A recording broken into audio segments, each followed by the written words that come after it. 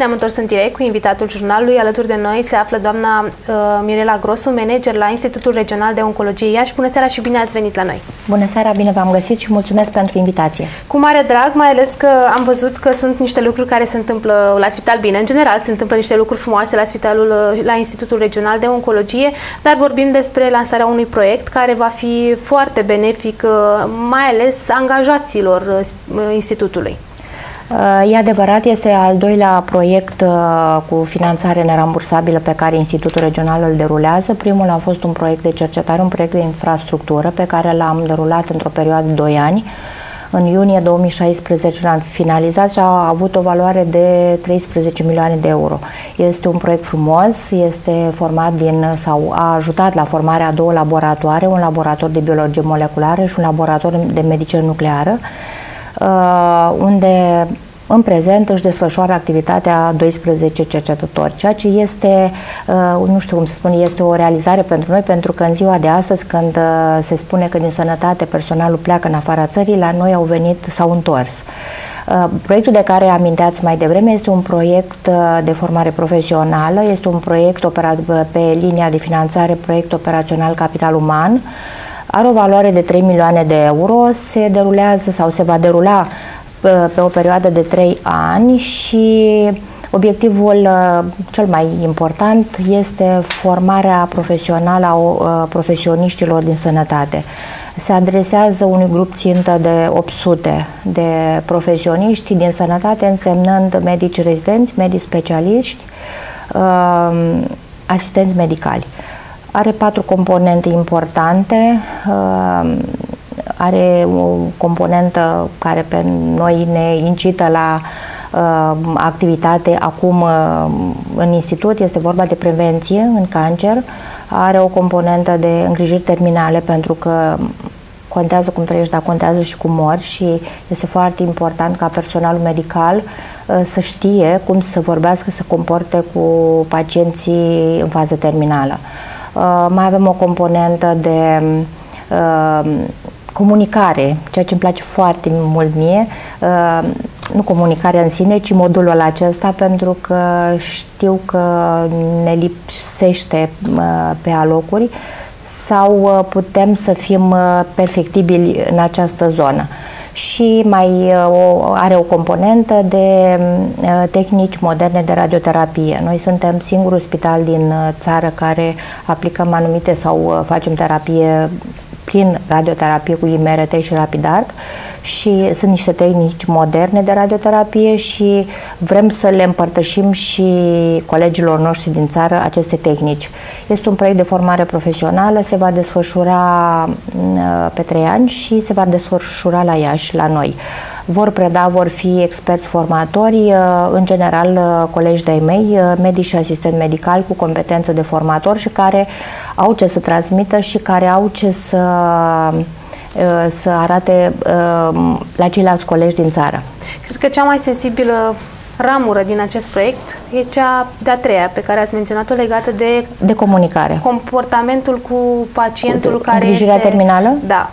Cred că un medic um, trebuie să lucreze și la partea psihică, nu doar uh, E adevărat și nu numai medicul, ci și asistentul medical, uh, pacientul care vine la noi uh, pentru îngrijiri terminale și nu numai pacientul, cât și familia, trebuie să, să știi cum să te poți cu ei. Asta este foarte important pentru că familia trebuie să asimileze informația într-un anumit ritm personalul trebuie să știe cum să transmită informația, pacientul trebuie să știe diagnosticul, dar este foarte important cum îl spui și cum îl explici. Și atunci uh, cele două componente sunt strâns legate și tot grupul țintă, cei 800 de uh, profesioniști din sănătate, vor participa la cursul de comunicare. Toți.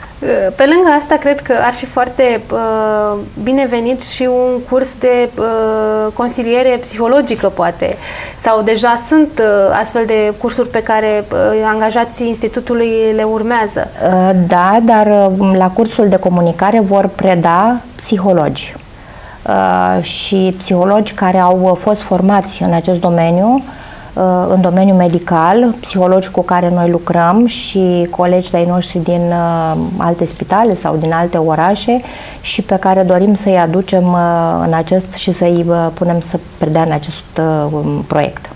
Era necesar uh, un astfel de proiect pentru institut? Da, pentru că um, noi suntem um, pe 1 februarie am avut șase ani de când am, uh, ne-am început activitatea și după cum știți, institutul uh, funcționează într-o clădire nouă, este singurul spital de stat din țară dat în folosință după Revoluție, nou în totalitate.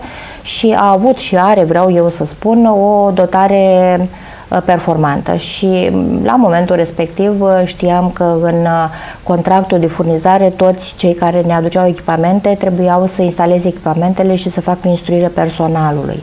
Dar instruirea consta în a da drumul la aparat și a închide aparatul. Utilizarea aparatului în condiții de eficiență și eficacitate nu ne-a arătat-o nimeni dintre cei care ne-au furnizat echipamentele și noi am încercat să să ne pregătim personalul uh, până acum pe fiecare secție, pe fiecare departament, pe fiecare specialitate, atunci când am simțit nevoia Uh, i-am uh, ajutat financiar să participe la cursuri și la stagii de formare. Nu am uh, plătit deplasări în străinătate sau participări la congrese, conferințe, ci stagii de formare și ne-a ajutat foarte mult. Și cum vă spuneam, suntem singurul spital de țară, din țară care aplicăm tehnici moderne de radioterapie, de care suntem mândri. Ehm, acum 2-3 ani aveam două acceleratoare și pe care le avem și acum, dar atunci erau cele mai performante din uh, țară și uh, încercam și atunci și acum să tratăm pacienții uh, în așa fel încât să obținem cele mai bune rezultate.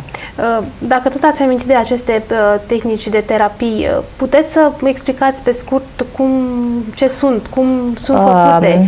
Uh, radioterapia prin uh, IMRT, uh, cum se spune, radioterapia 3D iradiază tumora într-o formă regulată. Uh, terapia IMRT și RapidArc, uh, prin planul de tratament se calculează doza de radiație în funcție de forma tumorii, uh, adică după o formă neregulată. Și radierea se face în intensități diferite, um, intensități pe care le calculează fizicienii noștri după, într-un plan de tratament. Deci în momentul în care un pacient se prezintă pentru radioterapie, este preluat de un medic radioterapeut, este consultat, îi se face face CT-ul de simulare, un computer tomograf și uh, în baza CT-ului de simulare fizicienii calculează uh, dozele de radiație și calculează și fac conturajul uh, zonei care va fi iradiată. Din calculatoarele respective informația ajunge la accelerator, iar acolo tehnicienii iradiază în 25, 30, 35 de ședințe tumora. Este o tehnică modernă și pe care noi, noi o aplicăm cu succes. Revenind puțin la proiectul uh, lansat, uh, spuneați dumneavoastră că este, era foarte necesar, mai ales pentru că nu erau instruiți uh, Da, pentru că vă spuneam, nu este important atât să știi cum să utilizezi echipamentul acela ci să le utilizezi eficient. Și atunci uh, ne-am dat seama că un proiect și o finanțare europeană ne-ar ajuta foarte mult. Și uh, uh, proiectul respectiv îl derulăm și pentru colegii noștri din institut, dar se adresează, cum v-am spus, la 800 de profesioniști din sănătate și încercăm să ne adresăm la toți colegii, la toate spitalele din țară care au secții de oncologie, hematologie și radioterapie. Cum se vor desfășura practic aceste cursuri? De când vor începe? Unde uh, în prezent loc? suntem în perioada de, uh, să zicem, organizare um, a bucătăriei proprii, în sensul în care organizăm procedurile de achiziție pentru toate prestările servicii, eu știu, de organizări, uh, de cazare, de logistică, uh, logistică da. Um, organizăm cursuri, organizăm licitațiile pentru achiziționarea de rechizite, birotică, um, echipamente, xeroxuri și experții noștri formatori acum uh, realizează și își fac planul uh, tematic uh, și planul cursurilor pe care o să le predea. Probabil cursurile vor începe undeva în luna mai-iunie și încercăm noi să le finalizăm în 2 ani, pentru că în, prim, în ultimul an să să realizăm așa mici reglaje. Este destul de greu să implementezi un asemenea proiect, 800 de oameni să-i aduci la Iași și mi-am dorit să vină la Iași pentru că noi avem ce să le arătăm, dar ei au ce să vadă în Iași. Este foarte important să vină aici. Și schimbul de experiență cred că este foarte uh, prielnic pentru astfel de cursuri. Uh, da, și cred că foarte mulți dintre noi am participat la cursuri de formare prin, cu fonduri uh, europene și cursuri care au fost utile pentru noi, fiecare, bineînțeles, în domeniul pe care l-a urmat. Totodată vorbim tot de uh, vești bune la spital. Uh, știm că recent ați inaugurat uh, un nou ambulatoriu. Practic vorbim de fosta clădire a Spitalului Sfântul Ioan. Uh, da, uh, în ultima perioadă nouă ne place să spunem că am, uh, am reglat foarte bine decalajele care existau între mm, ținuturile istorice ale țării între, în ceea ce însemna tratamentul pacientului oncologic a crescut foarte mult adresabilitatea către iroiași. Asta nu înseamnă că a crescut mult uh, numărul de cazuri de pacienți cu cancer, ci uh, mulți pacienți care mergeau la Cluj, la București, s-au reorientat și au venit la Iași. Institutul este foarte aglomerat și este foarte aglomerată zona de ambulatoriu și spitalizare de zi. Noi încercăm să nu internăm uh, în internarea continuă decât pacienții care chiar au nevoie de internare continuă. Uh, tocmai de aceea, în urmă cu 2 ani de zile, am, uh, am reușit să amenajăm un, o zonă hotelieră în Tătăraș pe Ion Creangă cu 70 de paturi, unde stau uh, gratuit pacienții care au nevoie de radioterapie, pacienți care sunt din alte localități.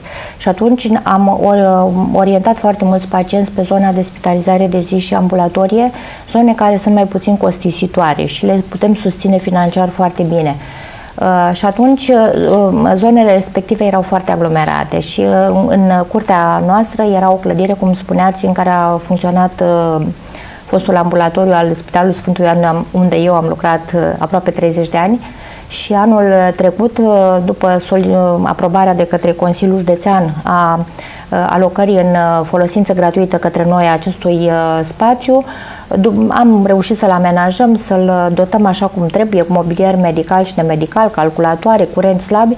Am reușit să amenajăm șapte cabinete, trei de hematologie, trei uh, oncologie medicală, un cabinet pentru medicina muncii și dietă și un spațiu cu trei fotolii pentru un punct de recoltă sânge pentru pacienții care au nevoie de analize medicale și spațiu în care noi ne dorim să încheiem un uh, parteneriat cu Centrul de Transfuzii și deja am discutat cu doamna director. uh, ca, pentru donare de sânge. Da, pentru donare de sânge. După cum știm toți, în România și nu numai în România, în, cu atât mai mult la noi în Iași, centrul universitar al doilea oraș, uh, și noi, institutul, suntem un consumator mare de sânge, uh, problema de sânge uh, persistă. Și atunci, pentru că uh, spațiul respectiv la noi este utilizat până în ora 11, uh, la noi vin pacienții 6 jumătate, 7 și până în ora 11 facem uh, recoltările de probe sanguine, după aceea, spațiul respectiv poate fi utilizat de către centrul de transfuzie ca un punct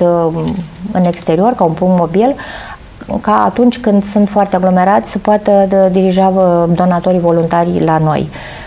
Sperăm să reușim în demersul nostru comun.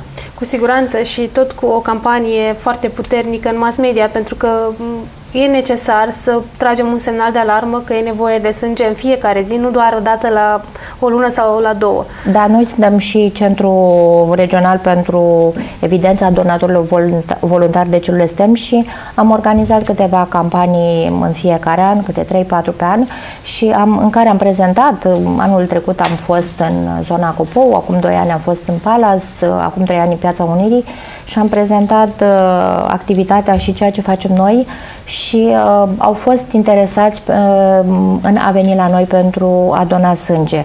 Și cu atât mai mult cu cât uh, din, uh, în luna decembrie am realizat primele două transplanturi de celule stem la institut.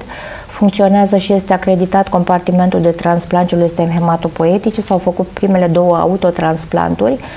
Uh, activitate de care suntem mândri. Suntem patru centre în țară și este o realizare pentru noi. Nu este așa ușor în 2017 să obții o acreditare pentru un centru de transplant. E mare lucru și cu atât mai mult trecând de la un subiect la altul, chiar voiam să vă întreb care este adresabilitatea pacienților, iată, din zona Moldovei acum pentru acest institut de oncologie. O să vă spun doar câteva cifre.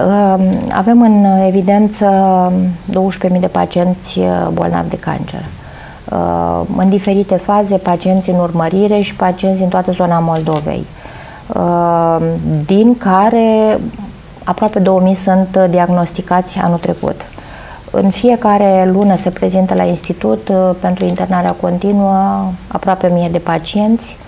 Uh, în spitalizare de zi pacienți care vin și fac chimioterapie în jur de 4000 uh, și cam 150, aproape 200 pe zi pacienți care se prezintă în ambulatoriu, pacienți care vin pentru rețete, pentru concedii medicale, pentru urmărire. Pacienții noștri vin tot timpul la noi uh, și noi ne dorim să vină cât mai mult, pentru că cu cât vin mai mult la noi, asta înseamnă că, uh, uh, că tratamentul are efect și pacientul vine pentru control, pentru stadializare, pur și simplu să-și facă tratamentul de control.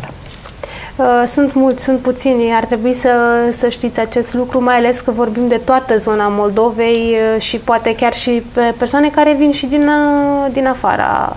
Sunt mai mulți decât ne-am dori. Ce ne supără este faptul că în ultima perioadă vin pacienți care sunt diagnosticați în ultima prea fază târziu. Sau? Nu știu, pot să spun că în ultima fază, dar prea târziu. Uh, cu cât uh, diagnostichezi o, o tumoră mai târziu, cu atât este mai greu de tratat și câteodată nu poți să o tratezi chirurgical. Uh, de aceea, noi în, ultimele, în ultimii 2-3 ani am încercat să facem o campanie pe cât ne-au permis uh, și timpul și bugetul, o campanie pentru a arăta lumii că este foarte important să mergi la doctor, este foarte important să îți faci controle la timp, o dată, la 2, la 3 ani, așa cum spun specialiștii. Uh, este foarte important să mergi să-ți faci screening-ul pentru depistarea anumitor tumori.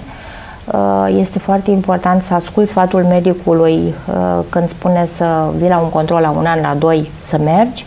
Uh, orice, eu știu, lună, două lăsată, lasă că sau... merg eu, uh, contează foarte mult. Uh, se spune că cancerul nu doare și când doare câteodată este prea târziu. Dacă e să vorbim pe uh, afecțiuni, pe modele de cancer, nu știu, să facem un clasament. Care ar fi principalele uh, forme de cancer predominante în zona Cele unde? mai uh, multe cazuri sunt cancerele de sân, de col uterin, de colon și de uh, cancerele pulmonare. Uh, multe cazuri sunt tratabile, sunt curabile și sunt uh, trăie, pacienții noștri trăiesc ani întregi cu, eu știu, operați și tratați. Dar sunt anumite uh, localizări uh, sau anumite cancere care sunt, nu mai pot fi tratate și sunt, vin uh, într-o fază paliativă. Și atunci, atunci ne doare cel mai mult.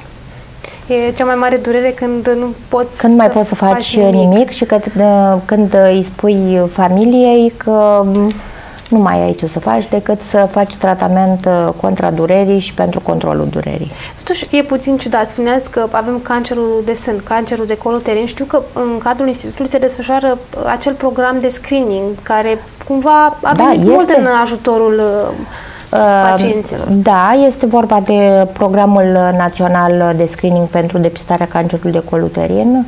Avem uh, șase ani de când se derulează acest, cinci ani jumătate de când se derulează acest uh, program național nu funcționează așa cum ne-am dori. Uh, în zona rurală este, sau din zona rurală, vin mult mai mult, puține paciente decât ne-am așteptat, sau nu paciente, pentru că nu le putem spune paciente. Uh, femei care sunt în, vin în perioada de uh, vârstă pentru care sunt eligibile. Ministerul Sănătății lucrează acum și vrea să lanseze două ghiduri de finanțare cu fonduri nerambursabile pentru unul pentru depistarea cancerului de colterin și unul pentru cancerul de sân. Noi suntem uh, parteneri în aceste două sau vom fi parteneri în aceste două proiecte și ne dorim să fie lansate cât mai repede. Um, proiecte prin care vor fi achiziționate echipamente medicale pentru colposcoape, pentru ginecologie, iar pe partea de screening de sân, mamografe fixe și mobile, ceea ce ne-a ajutat foarte mult pentru că în zona de screening pentru cancerul de sân sunt foarte puține unități sanitare din zona, din, din spital de stat care au mamografe. Uh, mulți nu-și permit să meargă în privat să facă o mamografie și atunci nu mai merg. Renunță la... Renunță la idee.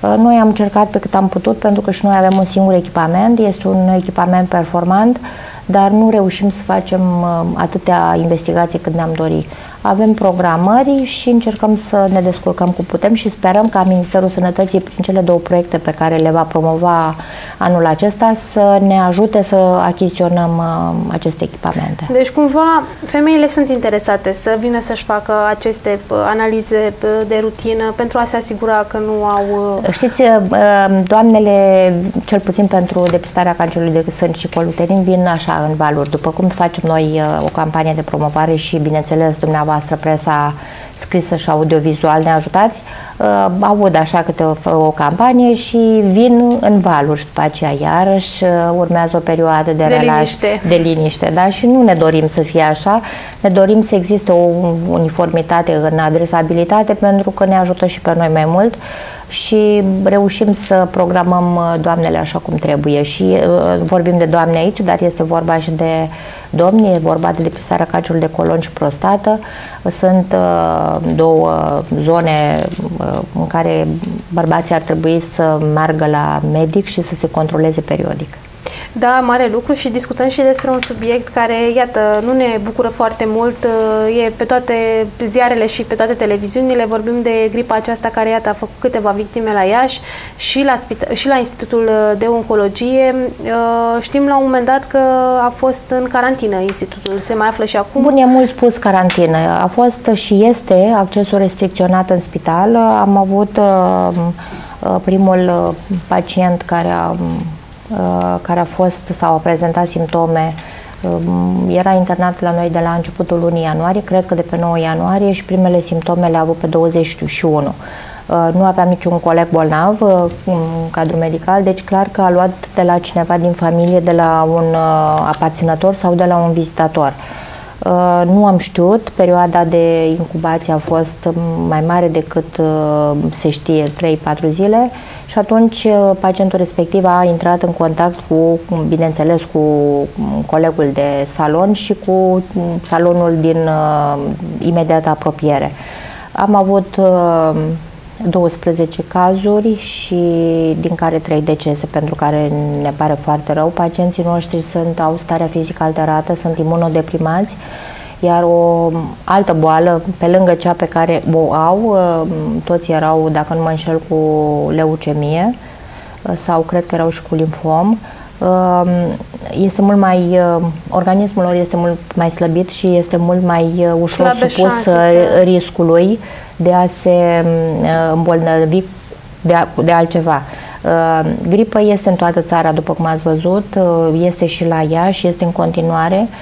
Noi imediat după, după eu știu, confirmarea primului caz, pentru că noi am cumpărat foarte repede la institut teste rapide și am încercat să facem la toți cei care au intrat în contact cu pacientul respectiv, am încercat să izolăm, dar la momentul respectiv s-a întins mai mult decât ne-am așteptat.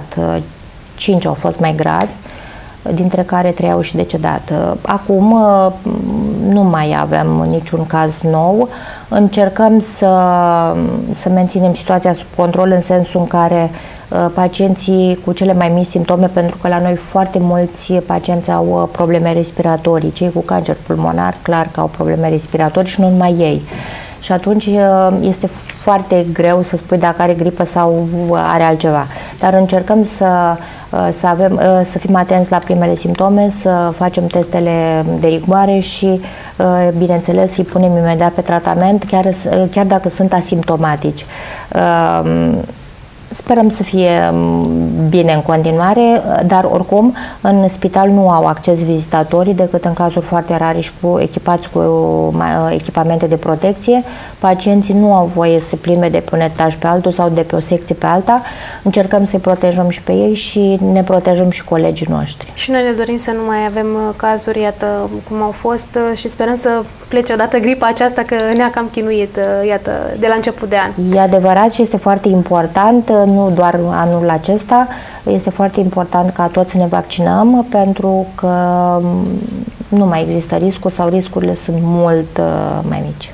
Eu vă mulțumesc tare mult pentru prezența la invitatul jurnalului. Sperăm să mai veniți la noi și cu altă ocazie. Vă mulțumesc foarte mult! Doamnelor și domnilor, aici punem punct jurnalului nostru. Eu sunt Florina Stângaciu, vă mulțumesc pentru atenție și vă doresc o seară frumoasă în continuare.